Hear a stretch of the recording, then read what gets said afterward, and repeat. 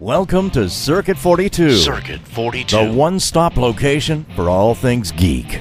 This episode is brought to you by our sponsors, Dragon's Lair San Antonio and Gotham Newsstand. Sit back, relax, and most importantly, enjoy another episode of Circuit 42. Circuit 42.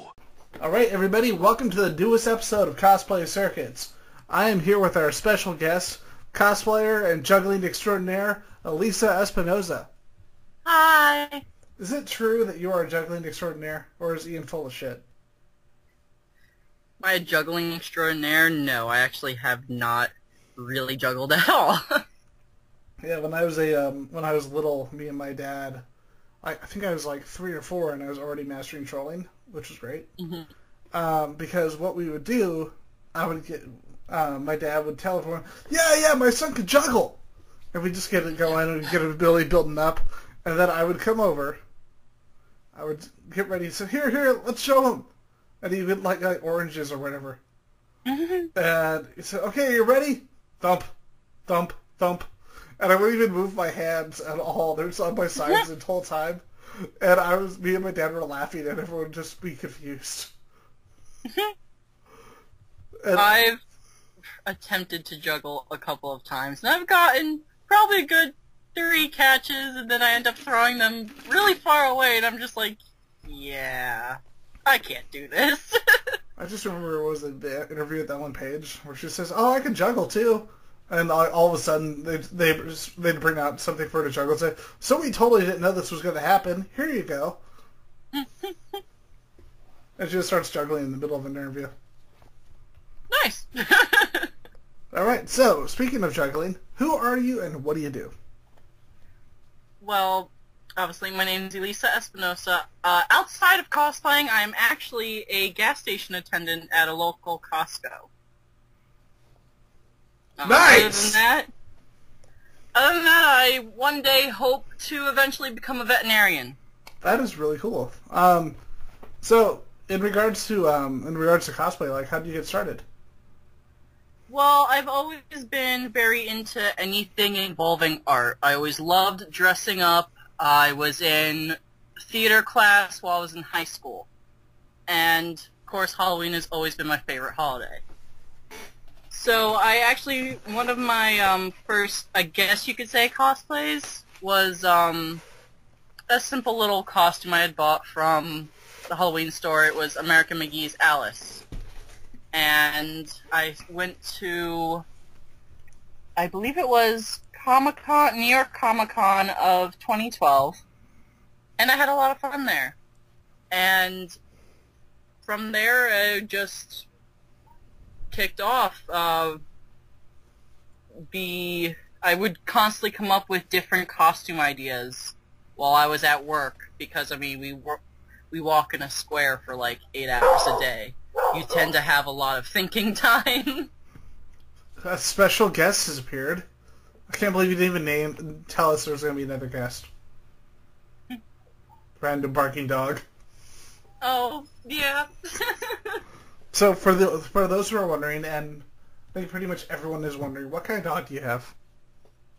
what kind of dog? Um, it's actually my roommate's dog. Her name is Jada, and she is a...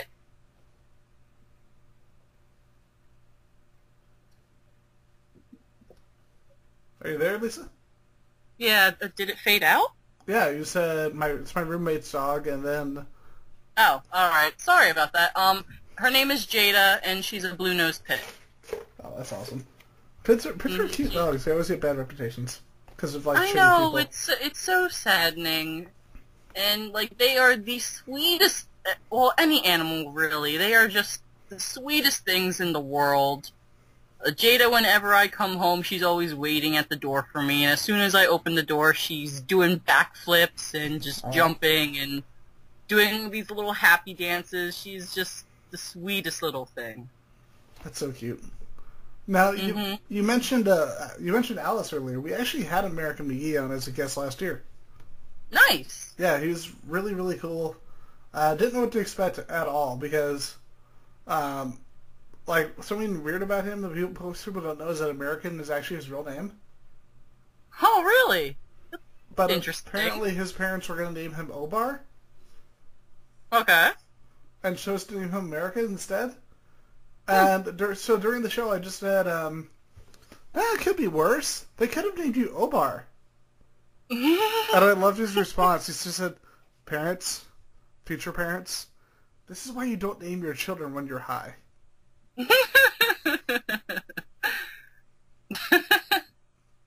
Fantastic. I think that is the best best thing he could have said right there.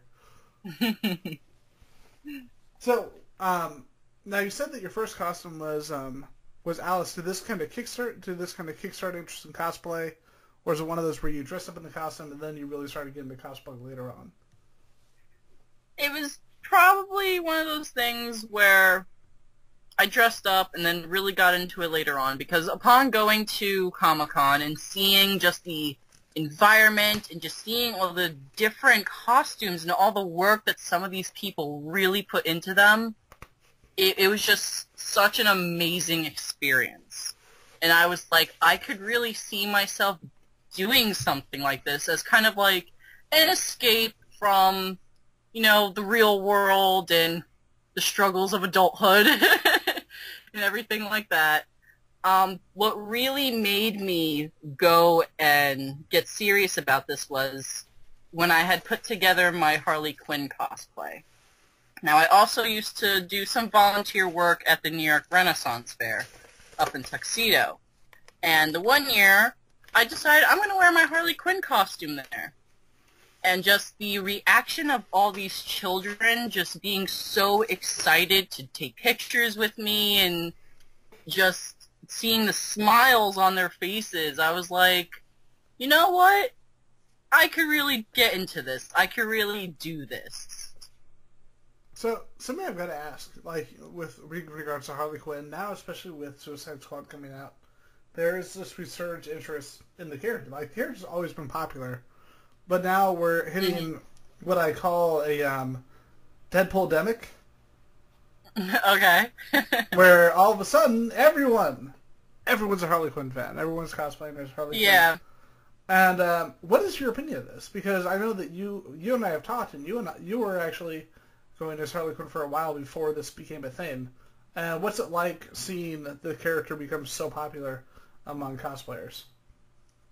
It's definitely um it's definitely interesting. Uh I think it's actually pretty good. Like I always thought the Harley Quinn was just a very interesting character with um her I guess you could say inner kind of fight with well, if you actually read like the comics and everything like that. First she started out just devoted to the Joker, just wanting to do everything for the Joker. But then after a while, and especially becoming friends with Ivy, she started um, trying to become her own person. And I guess, in a sense, you can kind of say that it is a little bit of a um, good example for some gir- some women out there who um see themselves in like relationships like that. Yeah. But it, it's I do think it's very interesting. I was very shocked though when I started going to the store and just seeing like Harley Quinn stuff everywhere. I was just like, "What? Where was all this when I was little?" And like wanted to dress up in Harley Quinn themed shirts and all this type of things. I remember like when DC first started doing the DC Universe figures. It's Mm. like it was like the first Harley Quinn figure in like ten in like ten years. And I snapped that up right away because I'm like, yeah, I should probably get this right now yeah. because I haven't seen a Harley Quinn figure in years. And then you look at what happened. Yep. It, Yeah. It's it's definitely interesting. Like I remember, I mean, even though I'm not exactly that old, but I remember back when I was little, you know, it wasn't it, not necessarily that it wasn't okay, but it wasn't very popular for you to like be nerdy or read comics or anything like that, especially if you were a girl. Nowadays, since everyone reads comics or is into superheroes or video games, it's become a lot more socially acceptable. And a lot of people actually like like it now. Now they're like I said, especially I think that's probably also why I really wanted to get into cosplaying because of the community of just a bunch of basically just a bunch of people with nerdy intent. And it's so funny, like with me, what, the moment I got my first apartment, I'm like, you know what, I'm gonna geek this place out, and Mhm. I got, I got these big bookshelves from IKEA. I put up all my comics, my movies, special stuff. Like, I've still got my Resident Evil Chainsaw controller and some Spawn figures. I had them all set up. And it was right, right after the first Iron Man came out, and people were still not totally in the whole comic book thing yet. And I would get friends who would kind of be like, "Oh, that's silly," or most of them would get it because most of them were cool. But you know, you'd Mhm. occasionally get that one person. But then about a year or two later, like people would just come into my house and be like, "This place is amazing." Mm-hmm. Like, um, there was a friend of mine and his girlfriend. She came in and she actually asked if she could look at some comics because apparently she'd been wanting to get into comics. And she and I told her, yeah, I kind of consider this like a little library. When you're here, read whatever you want. And That's- it's so so funny watching it, watching this shift. Yeah, it's it's really it's great. Like like I said, I remember when I was when I was younger, I've always been into comic books. I've never been like the girly girl type of person, and unfortunately, during the younger age, I didn't really exactly.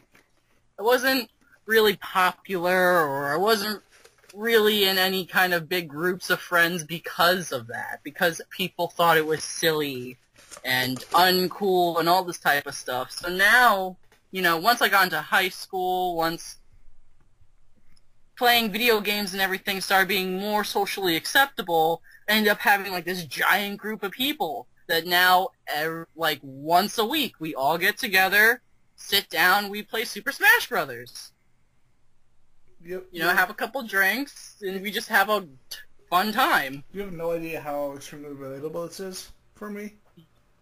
Because you just like lined up my, you just like synced up with my like childhood growing up.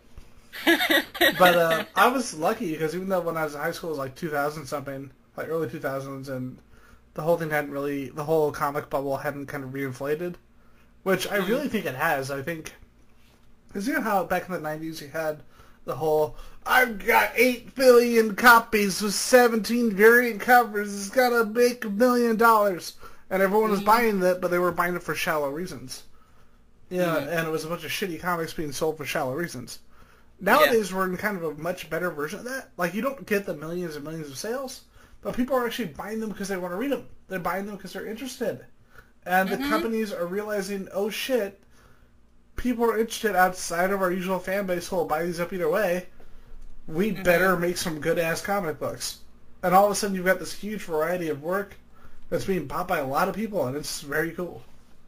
Yeah, especially now with all the different universes and all the different timelines and stuff that they're going with. Um, like when I saw that they uh, did a, uh, I, I didn't read too much in it, into it, but I guess it's Thor's sister or the female Thor or whatever it is that they're doing with that. I was like, that's that's interesting. That's definitely something different. That's new. I could see like at least reading it to see how that goes. I was originally from uh, Arizona, Okay. and um, a lot of people are from a lot of cosplayers, like big cosplayers, come out of Arizona. Like Jessica Nigri is from there. Uh, Okay. Karen Nicole is from there. Toni Darling's from there. And Toni Darling was actually the female Thor, the one that got all over the internet. And it was Nice. it was a perfect example of what people like to pretend doesn't exist. Kind of the sexism in the fan community where people started doing the photoshops where it said stuff like horror and shit like that. It's like, what the fuck, people? And um, she thought it was really cool that, you know, there, there was a, that there actually a female Thor did come out of all that. Although we always joke that our Thor back in Arizona was better. But um, she just thought that was really neat that apparently she said you know, probably wasn't them looking at her picture, but it was kind of cool to know that you had, that that was out there. yeah. But um, yeah, what what I was what I was saying earlier was that in my high school we kind of lucked out because the two most popular kids in school were a football player who loved Army of Darkness, Dungeons and Dragons, Monty Python, and comic books, Nice. and the other super popular kid who was also a giant nerd. And so it had this trickle down effect where I, I think I compared it once to the high school from 21 Jump Street. where like everyone's like, "Oh yeah, that's cool, that's neat," like stuff that you would never ever think was going to be accepted. And it seems like that mentality has really kind of become widespread. Yeah, it's great. I remember the first time I ever started getting into playing like uh like card games. First one I played was um I played Yu-Gi-Oh for a short amount of time and then I really got into playing Magic the Gathering. When I went to go play Yu-Gi-Oh, you know, I was let's see, I was probably like a freshman in high school or something like that. So I never had gone to like a comic shop to actually do any type of semi-competitive gaming in terms of cards. So when I got there, I was expecting, you know, just you the stereotypical nerds. When I got there, I saw quite a lot of people that was like, wow, I would not expect you to be a Yu-Gi-Oh fan if I just saw you like in school or on the street or something like that.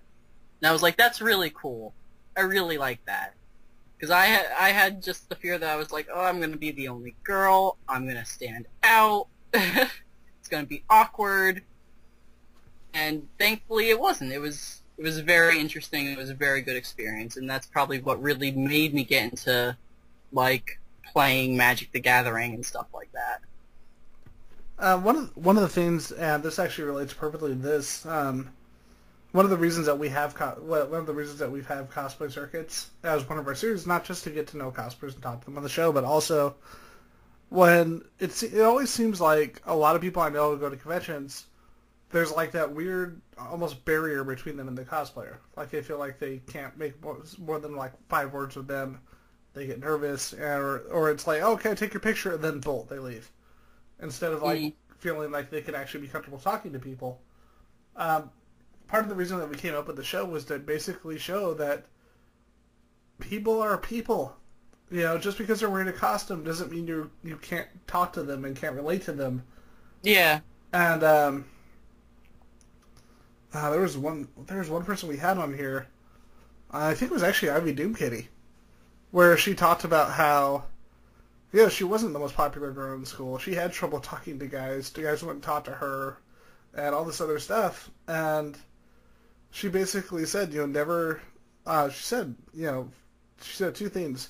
Never assume that that per- that that that you can't speak to the said person or whatever like that because she said that was a lot of what she went through in high school as people not necessarily people assume, like they would assume that they couldn't they didn't want to talk to her in school and then they assumed that they couldn't talk to her at conventions at conventions Yeah. and shows and um i think people don't understand that like we're all like when it comes to the like the art the arts and the different fields we all have that little bit we all at least a little bit of that kind of nervousness. You know, everybody everybody just wants to be. There are some people who don't want to be, but everyone wants to be approached by someone who just wants to have a normal conversation. You know. Yeah. I mean, hell, I still get nervous with things like that. I'm still kind of sort of socially awkward and things like that, believe it or not. Um, I I still personally find it a little hard to talk to some to some new people when I meet new people. Like if I'm out going to a party or something with friends, I still find it hard to actually just jump in and start talking to people. For the most part, I find it more comfortable to talk to people while in costume. Or even something like this, because I know a lot of people. I know some people I'm friends with. I would not be. I would not able to approach them nearly as easily if I hadn't talked to them on Facebook or on Skype or something like that prior. Mm. like there was a cosplayer friend of mine who I've been talking to her for a while, and she moved from Mississippi to um, Austin. If you know who uh, Kimihako Blade is, I do not. I'm terrible with names. um, she's a really good cosplayer, and she had moved from Mississippi to Austin. And I just said, "Hey, um, do you want? We're talking about doing an interview. you're in Texas now. Do you just want to do a live interview? And we were going to, then we just started hanging out and like eating food and stuff. I said, decided, oh, we could hold off on it, but let's just hang out and spend the day together.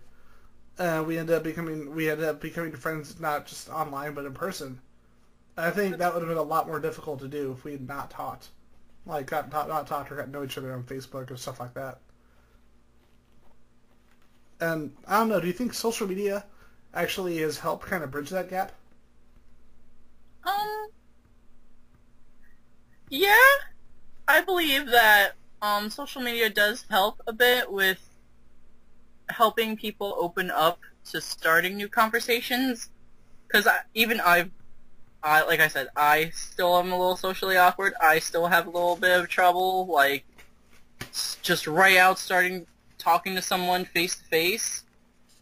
I, I don't really know how to explain it too well, but I guess it's kind of sort of like when you talk to someone via text or something like that, there is a little bit of like, I want to say kind of like a mask, so to speak. It just kind of gives you that little bit more confidence to just say what you're thinking. It's almost like a social cushion, yeah. Yes. The uh, the problem is though at, at the same like, this is just my opinion. There's also that negative of it, where um, you have like like the creators of Penny Arcade termed coined the greater internet fuckwad theory. You've have you heard of that? I have not. Basically, what it was. Let me see if I can find it. The greater internet fuckwad theory, which is still the greatest name for anything. I'm pretty sure, just from what I'm describing, you're kind of already getting an idea. Basically, they have this thing where it says, um, person with opinion plus anonymity plus technology plus anonymity equals shitcock. And basically saying that you have a person who, without that person there, without having someone around, they feel like they can say whatever they want. Mm. Oh, here it is. Unreal Tournament 2004 lends incontrovertible proof to John Gabriel's greater internet fuckwad theory. Normal person, shows normal, happy, smiling guy, plus anonymity, question mark, plus audience, three stick figures, equals total fuckwad. And now he's got his tongue out, looking, yeah, his tongue's out, and it says, shit cock. But, um, I don't know, that's just my opinion, that at the same time, the other, you always have the other side of the coin. Yeah, I mean, there is always gonna be someone out there that doesn't agree with something. Like, you're never gonna, no one is ever gonna always have the same opinion of you. And it is kind of shitty that you see a lot of people on social media, like the cyberbullying thing. That is really shitty. It, it does, it, it's disappointing that bullying in general exists. And, I mean, it, um, unfortunately, it's just something that's always going to be there. And a lot of pe- I feel like a lot of people just need to know, you know, you're your own person. You do what makes you happy, and you shouldn't really acknowledge any of these bullies that really just say things to get attention. And then that kind of brings you into that kind of it, kind of brings you once again into another area where you know we have a situation where you know most normal people like you and me are like you know what? That person said something kind of douchey. Whatever. I'm gonna go live my life but then you go into the but then you go to a lot of people who are becoming more and more visible who are like oh my god that person said something. Um, they should be banned from the internet forever. Because I, my feelings were hurt. Yeah, uh, I that's something we see a little bit of today. Yeah I feel like uh, a lot of uh, society has become a little bit too sensitive on some things, and it's just like, you know, like I said, everyone is going to have their own opi- opinion. Everyone is entitled to their own opinion. You're not going to agree with it. That's just that's life. That's just how it is. You can't really just censor or punish people necessarily for having an opinion that you don't agree with. Yeah, and then I mean the fact that there's actually you know we won't say her name because it's someone whose name should never be said in Circuit 42. A certain someone who's trying to actually get people who say mean things to her and people on Twitter like completely banned from Twitter. Oh. Yeah. I think we both know the name of the person that I'm talking about. Yeah, this is the same person who went in front of the government and basically wasted and wasted people's time because people hurt her feelings. Yeah. Yeah, she she's at it again, hmm and trying and they've actually got people seriously considering this because she don't want her feelings hurt on the internet. Well then. It's a The- weird, it's a weird time. It's like you you can't go through life, you know. Like at the same time, while it does bring some good things, it does bring it brings awareness. You know, people are a little more aware. That's definitely good. You you need that, but you also need that balance. You know, people can't be so worried that they're afraid to say or do anything. You know. yeah. See, this. At least uh, you just need to represent the internet as a whole. You know that, right? Just be like, I understand. My feelings were hurt too. I could lo- I could go over here and be like, fuck yeah, these people are cool. Let's hang out with these people and not with douchebag. Instead Yeah. of let's focus on douchebag.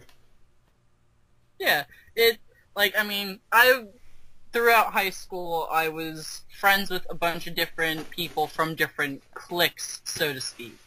But for the most part, the people that I really got close to and really consider to be like people that I can see as sort of like my family were people who were considered the misfits, the underdogs, the outcasts, all that type of stuff. Like that type of group. Because I mean, I don't know, I feel like the people who are more so like popular, so to speak, are really judgmental on how you should look or if you have money or things like that. And honestly, that's really a bad way to judge people. You know, like you should judge someone based on the type of person they are. I remember I ended up there was a picture of me at a convention with these two cosplayers. And it was this great picture and like, everyone was commenting on it. And then my friend tells me that apparently it ended up on 4chan. Oh. But here's but he told he told me about it, and he said he said you're not bothered by this. No, it's fucking funny. and I said the fact that this picture of me just being awesome just ends up on 4chan, and like half apparently half the people were giving me shit because 4chan, Yeah. but like they're saying, oh, it's just some dude with with girls pretending to like him, and um. Somebody else, somebody else came on there and said, "Okay, you guys are all sitting at your computer, not doing anything, not going out there, not going to conventions, not getting, taking pictures of girls at conventions. And this guy's going out there. He is one step, several steps above almost every single one of us here, me myself included. And I just thought that was so awesome that somebody saw through that and was like, "Yeah, you people are pretty fucking lame." But I thought it was great that my friend thought I would be bothered by it. Yeah, it's like awesome. Apparently, I'm infamous. Rock on. Um, the, the it seems like all the bullies of the world have disappeared from like real life, and all of them are hiding in the internet now because they realize it's Yeah. not socially acceptable to do it to do it outside. Yeah. All right, so uh, what other co- what other costumes have you had that people might know you for? Because you talked about your Harley Quinn cosplay, and you've talked about your first costume, the uh, Alice one. Like, are there, are there any other cosplays that you really like that you've done? Um. Well, since I'm really new, honestly, to the cosplaying thing, the only other costumes I have were um this past well this past February I went to uh, uh Wicked Fair, which is something that's more local toward me to me. I had a burlesque poison ivy costume that I had put together. Um, I also did do a Catwoman, which I had also worn to last year's Comic Con.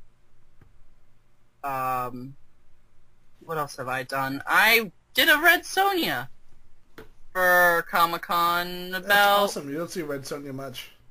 Yes, which was I was su- super excited to put it together, though it was extremely tedious because I had basically woven my own scale mail Yeah. and sewn it to a bra, and upon doing that, I was like, oh my god. Why? Why is this taking so long? Why is this so so tedious? But in the end, it was definitely very. It was worth it. I had a lot of fun doing it, and it was just something's just so um ah so good to say that you like you built it yourself.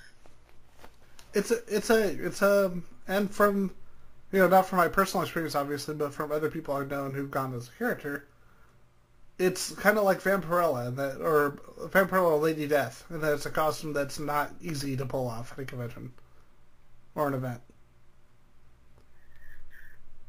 Yeah, you could say that. It's definitely it definitely takes a hell of a lot of confidence to be able to walk around like that. I'm not gonna lie, I was kind of nervous to to wear it, Yeah. but I had I had a lot of fun doing so. I have a friend of mine. She's she made a Vampirella costume. She got the whole thing done. She literally can't wear it to shows at all. Wow. Yeah, because I think the most polite way to put it is that because of her body type, she would just like fall out of the costume. Ah, Yeah, yes, that's that is a very difficult issue. but um, with that, you were talking about how you were how you've been into comics and everything for a while. Uh, like, what is what, are, what titles are you reading right now? Um, I honestly, at the moment, haven't really read anything. Uh, when I was playing Magic, I would read Lady Death. I was also reading, um, I believe it's Grimm Fairy Tales. Oh, dude, I'm actually friends with uh, Raven Gregory. He's another Arizonan. The guy who did uh, Nice. Fairy Tales and those back when Zenescope was doing really well. Nice. Yeah, I hate to say it, but it seems like right when they got rid of Raven Gregory, that whole company just kind of, kind of plummeted. Mm. Hear that, Zenescope? that- You're not doing good. Yeah, like I said, I haven't really read too many comics because I just really haven't had the time between uh, working and then trying to get all these cosplays um, done. That's really where most of my time goes. Either way, you know that's pr- that is really cool, and it is nice to see to. Um, I think a lot of people they have this assumption that people, for some reason, they have this assumption about cosplayers that they don't actually read the comics or whatever, or don't know the source material, and it's like that's kind of a shitty assumption to make. Yeah. I got actually got banned by um, by a comic book artist from his Facebook page. Who's the guy who drew Ex Machina and a bunch of other stuff. Because I tagged him on an article where he had actually said that cosplayers were quote unquote trying to trick male comic book fans. Well, Yeah. that's... He doesn't work a lot anymore. Ah, I see. Yeah, weird, right? How like being a sexist weirdo kind of reduced the amount of jobs that you get. Yeah, that's that's pretty terrible.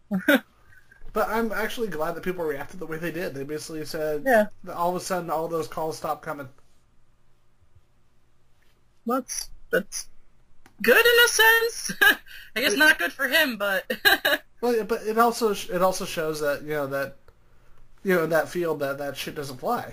You know. yeah, and it, it shouldn't. You know, if, if someone wants to cosplay as a character, let them cosplay as a character, no matter what I guess level of knowledge of that character they have. Yeah, there was Yeah. um was it um, the, the YouTuber Alpha Omega Sin?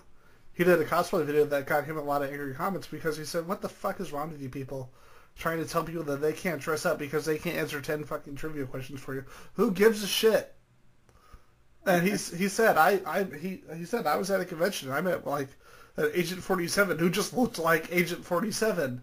And he told me that he didn't really play any of the games. I told him I don't fucking care. You look great. Good job. Yeah. Because he told him that he, it was the character brought to life for him, and he said that was a, lot, a fucking a lot more important. Whether this guy knew every single question about Hitman, Yeah. and I think that's a message that is getting out more and more and more because you you're seeing less of this, and That's people good. are just. It does seem like there's a level there is a level of respect, and a level of respect and common sense that wasn't there. It's still, I personally still think think it's something that needs to grow a little bit, but it's definitely gotten better. What do you think? Sorry, I talk a lot. No, it's okay. I, I do think that it is getting better where now the people people aren't really judging too much on uh, knowledge wise of characters. Like um I remember seeing uh one one picture on Facebook. I think it was like a silly little comic, you know, of like Rogue and Gambit and a couple of the other X-Men. Uh, Rogue was screaming like, "Who touched my butt?" And you saw Wolverine, Cyclops, and Gambit saying, "You know, not me," but Gambit was like really skinny, as if you, you know uh, how Rogue steals powers and whatnot. And there was just like everyone was arguing about whether or not that was true, and how like some people were saying Gambit's immune and all this type of stuff, and it's just like, why is everybody getting so uptight about this? This is unnecessary. It's supposed to be a, a comic as a joke. Take it as a joke and, you know, leave it at that. Like, why do you have to sit there and call people names based on whether or not they actually, like, know exactly what happened and all this type of stuff?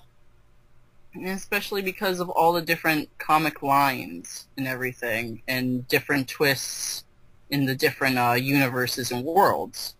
Yeah, like there's there's a lot up there. Like I I'll be the first person to say that I don't know a lot about the current the uh, current X Men stuff because it was not the stuff I really grew up reading. I grew up with, from like the 80s to around the 2000 early 2000s, but I don't know shit about Secret Wars. I I don't know what the fuck is going on. Eh, Yeah. neither do I. I don't think the readers know what the fuck is going on with Secret Wars. It's like apparently uh, this character's still around because Hawkeye sold really well. So yeah, this character's not because of sales. It's It's yeah, it's insane. I, It's I- like, sorry. And it's like some of the comics were like, well, uh, one of the comic, uh, one of the comments I saw on it was like, well, since no one else here is a true nerd and all this type of stuff, and it's just like, whoa, what, what does that even mean? A true nerd, like. Sorry, how- my how do you- glasses are thicker than yours, sir.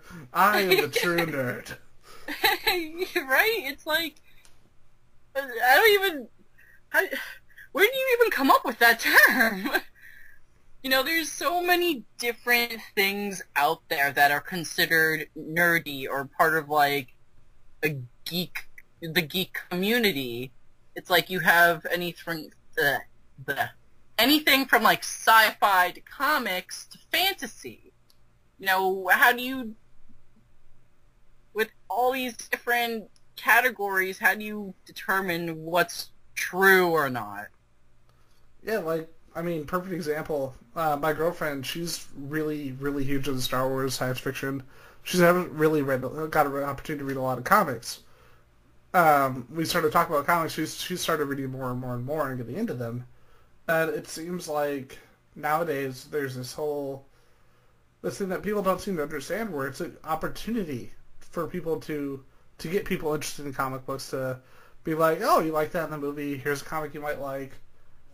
And it almost seems like a lot of people don't understand that or almost rejecting it where it's like well if you weren't a comic book fan first then what's the point? It's like people want to check it out. Know?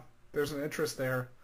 And if you push people away and if you push people away and treat them like they don't know anything because they didn't read issue number 506 of uncanny x-men volume 2 then all you're going to do is continue pushing people away and isolating the community Yeah, which is absurd. Yep. Yeah, I think in many ways this is something, one of those things that people need to hear. You know what I mean? Yeah, Because it's, like we said, it's getting better, but it's still at a point where people don't seem to completely get it. Yeah. Yeah. And it's like, you don't have to like every comic book. You don't have to like every superhero. I mean, me personally, I might get some hate for this, but I don't really care about Superman.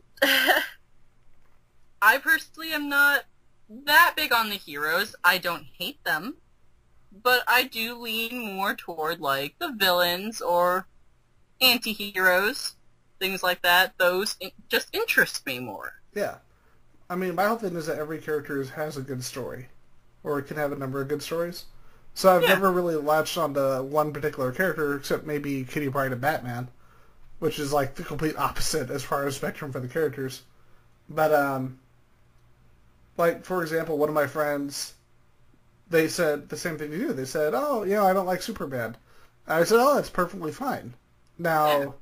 I said, but if you want to get the stories that pick but I tell them if you want the stories that want make people like Superman, and you want to get them to try and see why people like him, read All Star Superman, Superman Birthright, and Whatever Happened to the Man of Tomorrow. Yeah, like that's my thing. That you know, every character has good and shitty stories, but the Yeah. really good stories are the ones that are going to make you realize why people love these characters. Yeah. And I just saw recently on Facebook where apparently DC was making, uh, or someone was making fuck you Marvel shirts. And people were wearing them. And it's just like, that's kind of childish. Like, that's kind of unnecessary. Why do you have to split up the Marvel for the DC? You know, whoever likes what can like whichever.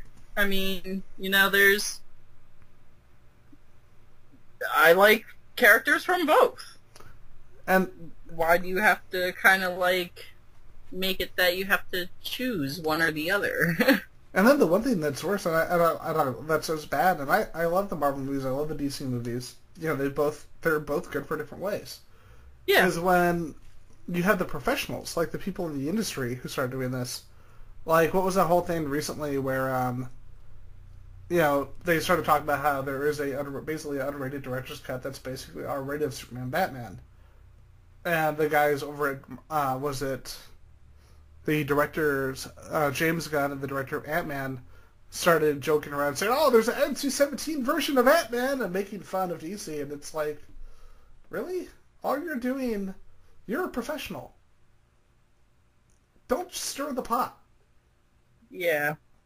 I mean, I'm glad it's not the studio doing that, but at the same time, if I was a producer, I'd be like, what the fuck, people? Yeah, this is not professional. We want to come off as professional. Yeah. Because that's the something I'll give DC at least is that the people behind the studios are not doing that. You know, they're basically saying, you know, we're just making a movie. Who cares?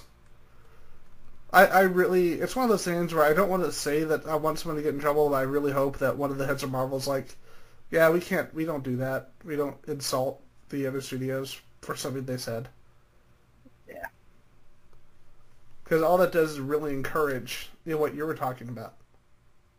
You know, encourages the it encourages the fans, especially, especially what I called the Facebook fans, to um to do the exact same thing because they're like, oh, okay, they did it, so it's okay. Yeah. So with that, is there anything else that you want to talk about before we bring the show to a close? Um, nothing that I can necessarily think of at the time. Awesome. Well, with that, well as well as we bring this episode to a close, where can people find you? Um, unfortunately, I mainly resign in Jersey. So, Well, not no, Um, no, not the stalkers, just the people online. uh, I thought you meant for like cons and stuff. Uh, Well, that too. my Facebook, my Facebook page. Uh, I have a separate Facebook account solely for all my cosplay stuff, which is um, it's gonna be my name Elise Espinoza, but it'll be me as Harley Quinn. I also have my cosplay page, which is a Sirens cosplay, and um, I do have a Twitter. No, no, I'm sorry, not Twitter. Uh, Instagram. Instagram. I believe that one is Undead Oracle. That is really cool. And with that, did you have anything else you wanted to mention at all before we bring the show to a close, or should we bring the show to a close? You can bring it to a close. Awesome. Well, with that, this is the newest episode of Cosplay Circuits. We are here with our special guest, Elisa Espinoza. Elisa? Oh, sorry. Have a nice day. Make sure to check her out on the Eternal Webs and go to all the things. Have a good night, everybody.